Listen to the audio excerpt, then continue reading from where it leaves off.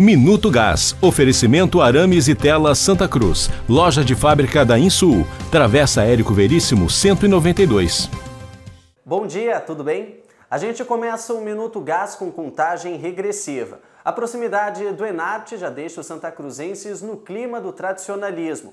No Gás você encontra a programação completa do encontro, valores dos ingressos e estacionamento e todos os detalhes da 35ª edição do Enarte. O evento acontece de 18 a 20 deste mês no Parque da Oktoberfest.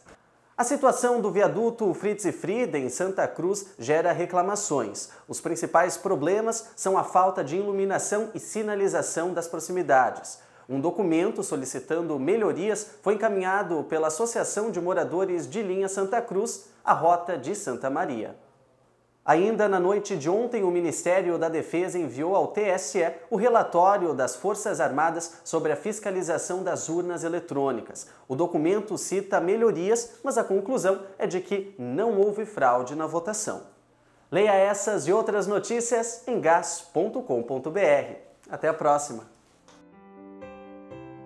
Minuto Gás. Oferecimento Arames e Tela Santa Cruz. Loja de fábrica da Insul. Travessa Érico Veríssimo 192.